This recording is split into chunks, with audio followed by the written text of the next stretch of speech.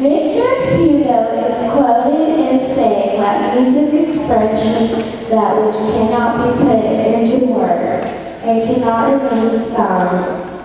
Music allows one to express their feelings and emotion, and oftentimes a song will symbolize our life story. American Idol's Kellie Pickler brings her childhood struggles to life through her